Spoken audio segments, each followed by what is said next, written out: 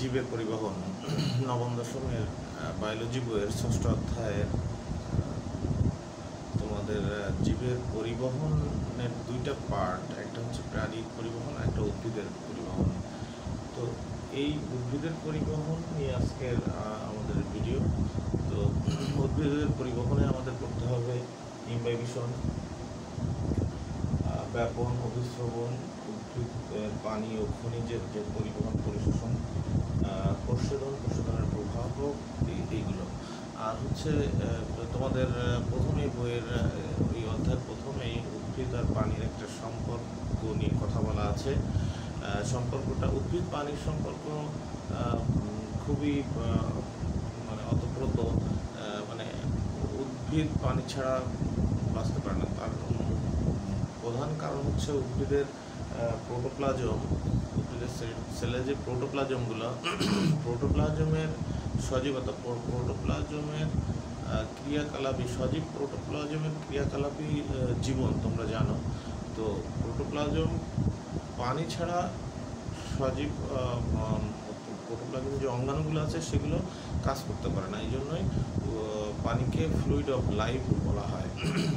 তো এখন আসো ইমবাইবিশন কি? ইমবাইবিশন হচ্ছে তোমরা জানো, এইটের বিজ্ঞানে তোমরা পড়ে এসেছ এই তিনটে টপিকস ইমবাইবিশন ব্যাপন অভিশ্রবণ প্রশোধনের কিছু অল্প মানে ক্ষুদ্র আকারে পড়ে এসেছ।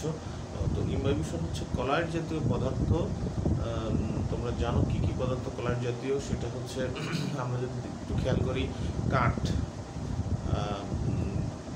বৃষ্টির সময় বাতাসের জলীয় বাষ্পের পরিমাণ বেশি থাকার কারণে কাঠের একটা আয়তনের পরিবর্তন আমরা দেখতে পাই। কাঠের কাঠ, পানি বায়ুমণ্ডল থেকে বা পরিবেশ থেকে পানি গ্রহণ করে আয়তনে বৃদ্ধি পায়। আয়তনে বৃদ্ধি পাওয়ার ফলে দেখা যায় যাদের বাসায় কাঠের দরজা আছে দরজা খোলা বা বন্ধ করতে গেলে একটা প্রবলেমের মধ্যে আয়তন বেড়ে যাওয়ার কারণে একটা প্রবলেমের মধ্যে পড়ে, পড়তে হয়। আবার তুমি টিস্যু পেপারের উদাহরণ তুমি দিতে পারো। টিস্যু পেপারের বা কাগজ, একটা অংশে পানি পড়লে ওই পানিটা অনেক দূর পর্যন্ত বিস্তৃত হয়ে যায়।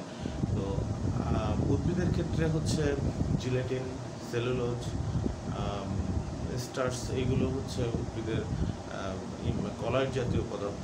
এটাকে হাইড্রোফিলিক পদার্থ বলা হয়, ইংলিশে হাইড্রোফিলিক হাইড্রো শব্দের অর্থ তোমরা জানো পানি, ফ্লিক শব্দের অর্থ গ্রাহী। তো হাইড্রোফিলিক বা কলার জাতীয় পদার্থ যে প্রক্রিয়ায় পানি পরিশোষণ করে, যে প্রক্রিয়ায় পানি গ্রহণ করে, সেই প্রক্রিয়াকে বলা হয় ইম্বাইবিশন উদ্ভিদের ক্ষেত্রে আমরা একটু পরেই দেখব ইম্বাইবিশন পদ্ধতিটা কীভাবে উদ্ভিদ ব্যবহার করেন এরপরে আসো ব্যাপন। ব্যাপন হচ্ছে ব্যাপন হচ্ছে, যদি আমি উদাহরণ দিয়ে বলতে যাই, পারফিউমের কথা তোমরা জানো পারফিউমের সিপি চাপ দিলে পারফিউমের মধ্যে, বোতলের মধ্যে থাকা যে অণুগুলো, সেগুলো কিন্তু ব্যাপিত হওয়া শুরু করে। তো এক স্থান থেকে আরেক স্থানে চলে যায়। এই অণুগুলো ব্যাপনের ব্যাপনটা, এই অণুগুলো ব্যাপিত হওয়াটা হচ্ছে অধিক ঘন মাধ্যম থেকে অধিক ঘন ঘনত্বযুক্ত স্থান থেকে কম ঘনত্ব স্থানের দিকেই হয়ে থাকে। তার মানে একই তাপমাত্রা চাপে অধিক ঘনত্বযুক্ত স্থান থেকে কম ঘনত্বযুক্ত স্থানে ব্যাপন অণুগুলো স্বতঃস্ফূর্ত সমভাবে ছড়িয়ে পড়ার প্রক্রিয়াকে বলা হয় হচ্ছে অভিস সরি ব্যাপন বা ডিফিউশন তোমরা একটা জিনিস খেয়াল করবা যদি বিষয়টা আমি এরকমভাবে ব্যাখ্যা করি, ব্যাপন, ব্যাপনের ক্ষেত্রে যদি আমি এইভাবে একটু দেখাই, মনে করি এটা অধিক ঘনত্বযুক্ত অঞ্চল, অধিক ঘনত্ব, অধিক আর এটা কম ঘনত্বযুক্ত অংশ। তো এইটার থেকে এই দিকে অণুগুলো ব্যাপিত হবে। এই প্রক্রিয়াকেই ব্যাপন বলা হয়। তোমরা এইটের জেএসসির ক্লাসটা যদি দেখে থাকো, আমার ভিডিও ক্লাসটা তাহলে দেখবা ওখানে আমি অভিশ্রমণের একটা পরীক্ষা করেছিলাম। তো ব্যাপনের ক্ষেত্রে তরল মাধ্যমে আমরা একটা পরীক্ষা বাসায় সবাই করতেই পারি। সেটা হচ্ছে একটু রং অথবা আলতা নিয়ে যদি একটু পানিতে, পানি পানিতে দেওয়া হয়, একটা বাটিতে বা একটা জারে পানি নিয়ে পানিতে দেওয়া হয়, একটু পরে দেখা যাবে যে তরল ওই পানির মাধ্যমে অণুগুলো রঙের অণুগুলো সমভাবে ছড়িয়ে পড়বে, সমভাবে ছড়িয়ে পড়বে। তো এই ছড়িয়ে পড়াটাই হচ্ছে ব্যাপন। তো ব্যাপনের ব্যাপন নির্ভর করে চারটা জিনিসের উপর তোমরা জানো, তাপমাত্রা মাধ্যমিক ঘনত্ব ঘনত্ব ও বায়ুমণ্ডলীয় চাপের উপরে। তাপমাত্রা বেশি হলে ব্যাপনের হার বাড়বে, তাপমাত্রা কমলে আবার ব্যাপনের কমবে।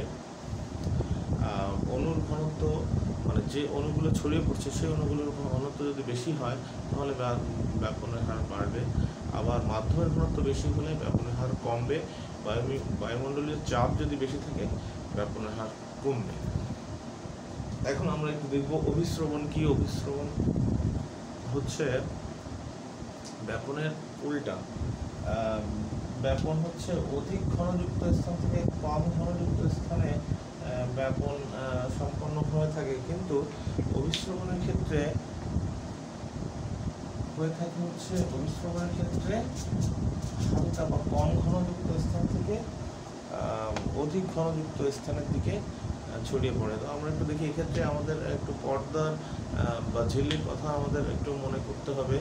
সেটা হচ্ছে পর্দা সাধারণত দুই, তিন প্রকার হয়। একটা হচ্ছে ভেদ্য পর্দা, দ্বিতীয় অভেদ- অভেদ্য পর্দা তৃতীয় হচ্ছে অর্ধভেদ্য পর্দা অভেদ্য পর্দাটা হচ্ছে তোমার যে মাধ্যম যে পর্দার মধ্যে দ্রাবক অণু বা দ্রব্য দুটাই যেতে পারে সেটা হচ্ছে ভেদ্য পর্দা অভেদ্য পর্দা হচ্ছে কোনোটাই যেতে পারবে না সেটা হচ্ছে অভেদ্য যেমন পলিথিন। ভেদ্য পর্দা যেমন কোষ প্রাচীর আর আহ, অর্ধভেদ্য পর্দাটা হচ্ছে শুধু দ্রাবক অণুগুলো যেতে পারবে দ্রব্য যেতে পারবে না। এক্ষেত্রে আমরা আম, অভিশ্রবণের একটা পরীক্ষা তুমি আগেই বলেছি যে এক্ষেত্রে আমরা আমাদের এই অভিশ্রবণে লাগবে হচ্ছে আহ, অর্ধবেদ্য অর্থ অর্ধবেদ্য পর্দা তো এখন আমরা একটা সাইডে একই দ্রাবক কোনো বিশিষ্ট একটা একটা একটা ঘনত্বের অর্থাৎ ধরো এক লিটার পানিতে এই সাইডে এক লিটার পানিতে দুইশো গ্রাম চিনি আছে। তার মানে হচ্ছে এটা অধিক ঘনযুক্ত স্থান অধিক আর এটা কম ঘনযুক্ত স্থান এটা এক লিটার পানিতে দশ গ্রাম চিনি আছে।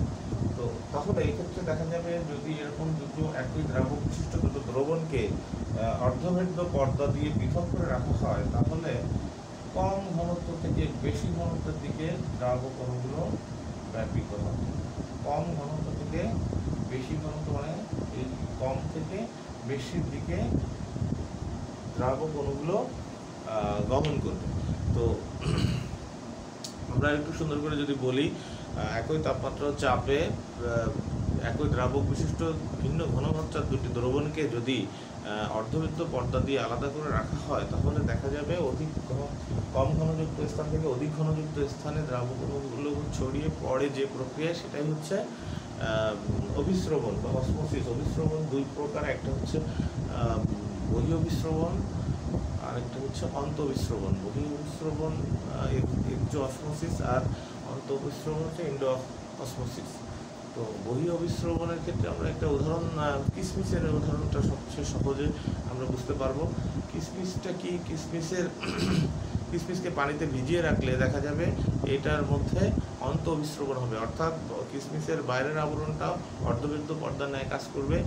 আর যার কারণে উদ্ভিদের ওই কিসমিসের বাইরে যে পানি ওইটা কিসমিসের মধ্যে প্রবেশ করে আহ, কিসমিসটাকে স্ফীত করে ফুলিয়ে তুলবে।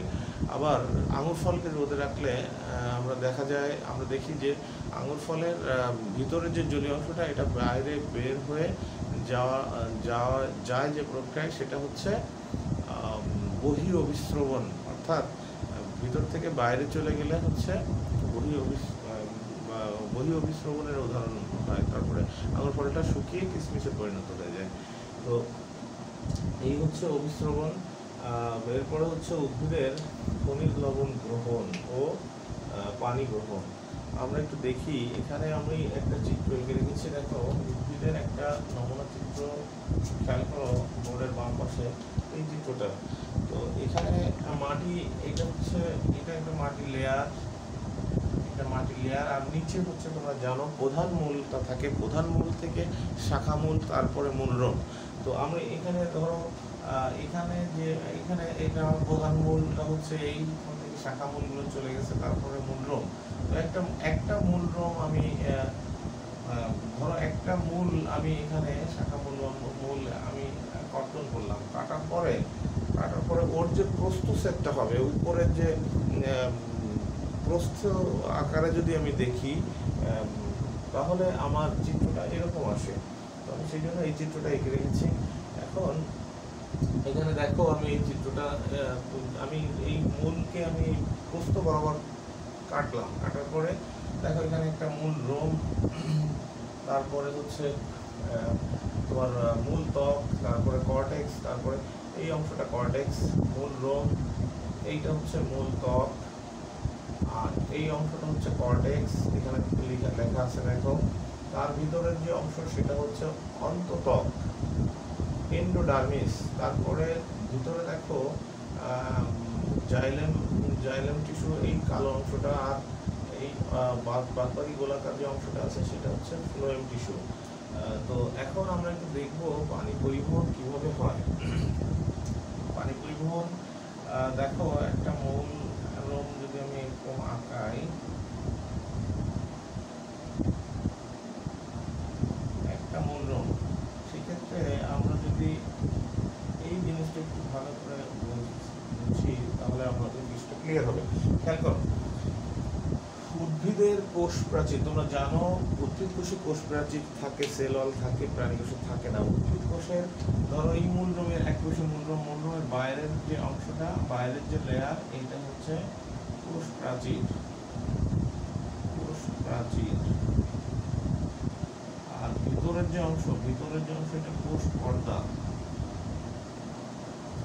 কোষ পর্দা এখন তোমরা জানো, কোষ প্রাচীর কোষ প্রাচীরের উপাদানগুলো হচ্ছে, কোষ প্রাচীরের উপাদানগুলো হচ্ছে সেলুলোজ, জিলেটিন, সেলুলোজ হেমিসেলুলোজ এইগুলো। তো সেলুলোজ তোমরা জানো যে একটি কলার জাতীয় পদার্থ। তো সেলুলোজের কাজ কি? সে পানি গ্রহণ করবে। তো এই জন্য অটোমেটিক সে এখান থেকে পানি গ্রহণ করা শুরু করে। মূল রোমের চারিদিকে কিন্তু মাটির কণা আছে? মাটির কণার ফাঁকে যে পানি থাকে, সেই পানিগুলো এই মূল রোম যেহেতু এই কোষ প্রাচীর হচ্ছে কলার জাতীয়, সেহেতু সে স্বয়ংক্রিয়ভাবেই পানি গ্রহণ করবে। এখন পানি গ্রহণ করার পরে এই যে অংশটা, কোষ প্রাচীর আর কোষ পর্দার মধ্যের যে অংশটা, এই অংশের যে উপাদানগুলো ছিল সেই উপাদানগুলো পানি যখন এর মধ্যে এই দুই স্তরের মধ্যে চলে যাবে, তখন ওই উপাদানগুলো যে ঘনত্ব ছিল সেটা কিন্তু হালকা হয়ে যাবে। তার মানে এই ভিতরের কোষ পর্দার মধ্যে যে ঘনত্বটা ছিল, তার থেকে এই বাইরের ঘনত্বটা বেশি হালকা হয়ে যাবে। এখন তোমরা জানো যে কোষ পর্দা হচ্ছে অর্ধবেদ্য পর্দার ন্যায় কাজ করে। কোষ পর্দা হচ্ছে অর্ধবেদ্য পর্দার উদাহরণ। তাহলে এখানে দেখো কোষ পর্দা কোষ পর্দা যেহেতু অর্ধবেদ্য পর্দা আর ভিতরের ভিতরের ঘনত্ব আর কোষ পর্দার বাইরের ঘনত্ব যখন, বাইরের ঘনত্ব কম, ভিতরের ঘনত্ব যখন বেশি, তখন মাঝখানে আবার অর্ধবেদ্য পর্দা থাকায় এখানে অভিস্রবণ সংঘটিত হয়। তার মানে মূল রোমে তোমাদের অনেকের কোশ্চেন আছে এখানে স্যার এইটা, এখানে কি ঘটনাটা হয়? কোন প্রক্রিয়া নেয়? তাহলে তুমি অভিস্রবণ প্রক্রিয়ায় হচ্ছে কোষ প্রাচীর অভিস্রবণ প্রক্রিয়ায় হচ্ছে কোষ পর্দা পানিটাকে ভিতরে ঢোকাচ্ছে। আর ইমবাইবিশন প্রক্রিয়ায় হচ্ছে ইমবাইবিশন পদ্ধতিতে পানি কোষ প্রাচীর তার ভিতরে ঢোকাচ্ছে। এই হচ্ছে, এই ঘটনাটা এখানে ঘটে।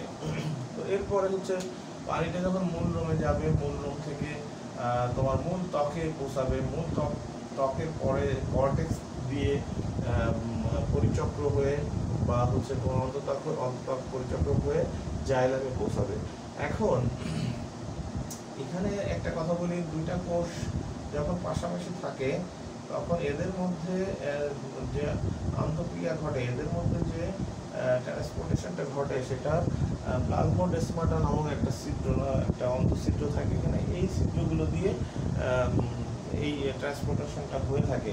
এখানে আরও একটা পদ্ধতি আছে। এই পানি পরিবহন পদ্ধতি নিয়ে আমি আরেকটা ভিডিও বানাবো। তোমরা ওইটা, ওইটাতে দেখলে আরও ক্লিয়ার হবে।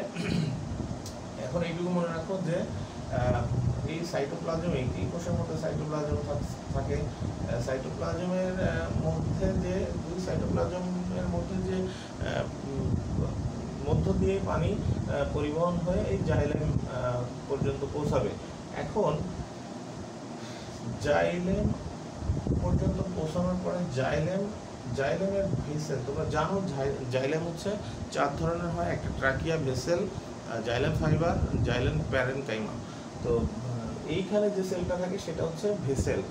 ভেসেলের কাজ কি তোমরা এরকম ভেসেলটা হচ্ছে সাধারণত একই রকম এইরকম ধরো এইটা এরকম হয়, নিচের সেলটাও এর সাথে সামঞ্জস্য রেখে এই এর কোষ প্রাচীরটা গলে গিয়ে এটা একটা নালী তৈরি করে, সরু নালী তৈরি করে। সরু নালী তৈরি করার পরে এটা ঊর্ধ্বমুখী পরিবহন হয়। জাইলেমের কাজ কি? জাইলেম টিস্যু আর ফোলাম টিস্যুকে পরিবহন টিস্যু বলা হয় ভাস্কুলার বান্ডেলও বলা হয়।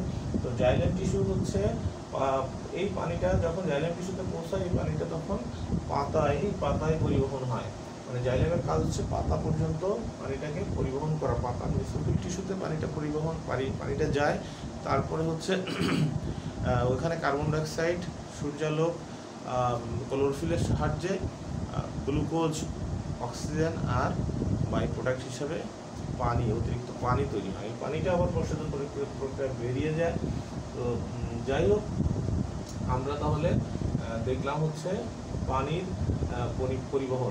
খাদ্যে পাতায় যে খাদ্যটা তৈরি হয়, এই খাদ্যটা আবার এই ফ্লোয়েম টিস্যু, তোমরা জানো, উদ্ভিদের মূল রোমেরও, মূল, মূলেরও কিন্তু খাদ্যের দরকার। মূলেও কিন্তু সেল, সেলগুলো সজীবতার জন্য বা বেঁচে থাকার জন্য কার্যক্রম, কলাপগুলো চালানোর জন্য অন্তত খাদ্য দরকার। তার মানে ওই ফ্লোয়েমটা কিন্তু উদ্ভিদের সমস্ত জায়গায় খাদ্যটা পরিবহন করে দেয়।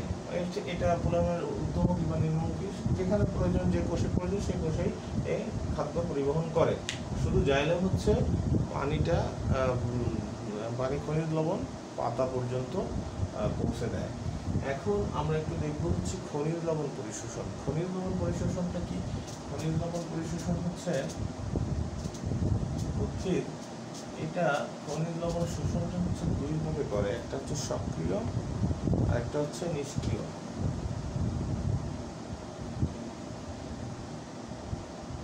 খনিজ শোষণ এটা উদ্ভিদ দুই ভাবে করে একটা হচ্ছে অ্যাক্টিভ অ্যাবজর্পশন আর একটা হচ্ছে প্যাসিভ অ্যাবজর্পশন একটা হচ্ছে সক্রিয় হচ্ছে নিষ্ক্রিয় সক্রিয় শোষণে যেটা দেখা যায় সক্রিয় শোষণে হচ্ছে এটিপি ভেঙে প্রয়োজন হয় এটিপির প্রয়োজন হয় এটিপি ভাঙার প্রয়োজন অর্থাৎ শক্তির প্রয়োজন, বিপাকীয় শক্তির প্রয়োজন হয়। বিপাকীয় শক্তির প্রয়োজন হয়, যেহেতু বিপাকীয় শক্তির প্রয়োজন হয়, সেহেতু এখানে অবিশ্রবণ, আর ইমবাইবিশনের মাধ্যমে পানি বা পানি থেকে খনিজকে নেওয়া খনিজকে নেওয়া লাগে না। সব, যেহেতু শক্তির মাধ্যমে এটা ঘটে, এখানে বাহকের প্রয়োজন পড়ে। বাহক হিসাবে অনেক সময় প্রোটিন কাজ করে। তারপরে বা শ্বসনের হার বেড়ে যায়, অনেক সময় এনজাইমের প্রয়োজন হয়। এইগুলোই সক্রিয় শোষণ। আর নিষ্ক্রিয় শোষণ হচ্ছে এখানে বিপাকীয় শক্তির প্রয়োজন পড়ে না। যেহেতু বিপাকীয় শক্তির প্রয়োজন পড়ে না, সেহেতু ইমবাইবিশন ও অবিশ্রমণ প্রক্রিয়ায় এখানে সম্পন্ন হয়। তারপরে হচ্ছে এনজাইমের প্রয়োজন পড়ে না, বাহকেরও প্রয়োজন পড়ে না শ্বসনের হার অপরিবর্তিত থাকে, এইগুলো। তবে মাটি থেকে খনিজ ধরো মাটিতে সোডিয়াম ক্লোরাইড আছে অথবা পটাশিয়াম ক্লোরাইড আছে, এটা কিন্তু এরকম এক, একসঙ্গে উদ্ভিদ গ্রহণ করবে না। এটাকে আয়ন আকারে গ্রহণ করবে, অর্থাৎ পটাশিয়াম পটাশিয়াম ক্যাটায়ন হয়ে যাবে, ক্লোরিন অ্যানায়ন হয়ে যাবে, এরকম আয়ন আকারে গ্রহণ করবে। সোডিয়াম সোডিয়াম ধনাত্মক হয়ে যাবে, ক্যাটায়ন হয়ে যাবে, ক্লোরিন অ্যানায়ন হয়ে যাবে, এরকম। জানো উদ্ভিদের খনিজ খনিজের একটা প্রয়োজনীয়তা আছে উদ্ভিদের শরীরে। তার কাজ সম্পন্ন করার জন্য। তো এই হচ্ছে তোমার খনিজের শোষণ। এরপর আমরা একটু দেখব হচ্ছে কি। তোমরা একটু আগেই আমি বলেছি যে প্রচ্ছেদন আহ, যে জাইলাম টিস্যু উদ্ভিদের পাতা পর্যন্ত হচ্ছে পরিবহন করে নিয়ে যাচ্ছে পানি। ওখানে হচ্ছে সালোক সংশ্লেষণ হচ্ছে সালোক সংশ্লেষণের যে পানিটা তৈরি হচ্ছে, সেই পানিটা উৎপন্ন হচ্ছে, এই পানিটা আবার পত্র রন্ধ্র দিয়ে বেরিয়ে যাচ্ছে প্রচ্ছেদনের মাধ্যমে। অর্থাৎ- প্রচ্ছেদনটা হচ্ছে যে প্রক্রিয়ায় উদ্ভিদ তার শরীরে অতিরিক্ত অপ্রয়োজনীয় পানি বাষ্প আকারে বের করে দেয়, সেটা হচ্ছে তার বাষ্পীয় অঙ্গগুলোর মাধ্যমে বের করে দেয়, সেই প্রক্রিয়াকেই বলা হচ্ছে প্রচ্ছেদন তো প্রচ্ছেদন আহ, তিনভাবে আমরা দেখে থাকি। একটা হচ্ছে পত্ররন্ধ্রীয় প্রচ্ছেদন আর একটা হচ্ছে ইউটিকুলীয় প্রচ্ছেদন আর একটা হচ্ছে লেন্টিকুলার প্রচ্ছেদন। আমরা একটু পত্ররন্ধ্রীয় প্রচ্ছেদনটা দেখব। যেমন হচ্ছে পত্ররন্ধ্রীয় প্রচ্ছেদন রন্ধ্রীয় প্রচ্ছেদন। এটা কিন্তু সব থেকে বেশি পরিমাণ পানি এই সমগ্র প্রশোধনের ninety two ninety five percent পানি এইভাবে প্রচ্ছেদন হয়। তো এইভাবে বেরিয়ে যায়। তো পত্ররন্ধ্রীয় আহ, কি পত্ররন্ধ্রীয় প্রশোধনের পাতার মধ্যে কিছু ছোট ছোট রন্ধ্র থাকে। যে রন্ধ্রগুলো সাধারণত বেশি পরিমাণে থাকে পাতার নিচের অংশে। এখন তা- একটা একটা পত্ররন্ধ্রের চিত্র আমি আঁকানোর চেষ্টা করি।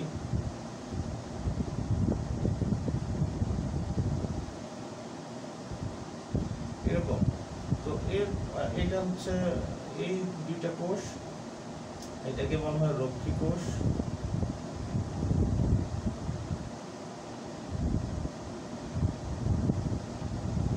চারিদিক থেকে কিছু তপীয় কোষ থাকে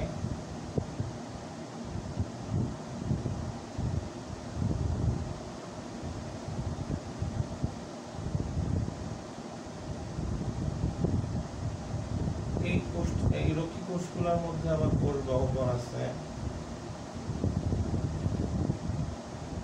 নিউক্লিয়াস আছে আর এগুলো হচ্ছে ক্লোরোফিল তো এই আহ, রক্ষী কোষটা বা রক্ষী সেলটা হচ্ছে এই পত্রন্ধ্রকে নিয়ন্ত্রণ করে পত্রন্ধ্র এগুলো এগুলো এগুলো তপীয় সেল বা সাধারণ সেল এখন এই পত্ররন্ধ্রটা আহ, খোলা বা বন্ধ হওয়াটা কিছুটা কিছু কয়েকটা প্রভাবের উপর ডিপেন্ড করে। আবার আলোর উপস্থিতিতে এটা এটা খুলে যায় অর্থাৎ দিনের বেলা পত্র রন্ধ্র খুলে থাক খোলা থাকে যার কারণে দিনের বেলা বেশি হয়।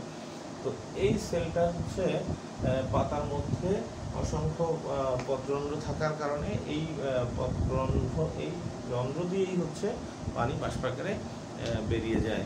এখন আমরা একটু দেখব প্রচ্ছেদনের ও আচ্ছা আহ, পত্ররন্ধ্রীয় প্রচ্ছেদন গেল এরপরে হচ্ছে কিউটিকুলিয়ার কিউটিকুলার প্রচ্ছেদন অর্থাৎ ত্বকীয় প্রচ্ছেদন ত্বকীয় প্রচ্ছেদনটা কি? ত্বকীয় প্রচ্ছেদনটা হচ্ছে উদ্ভিদের দেহের বিভিন্ন, উদ্ভিদের দেহের যে আবরণ, দেহের আবরণটা হচ্ছে বিশেষ করে পাতায়, কিউটিন দ্বারা আবৃত।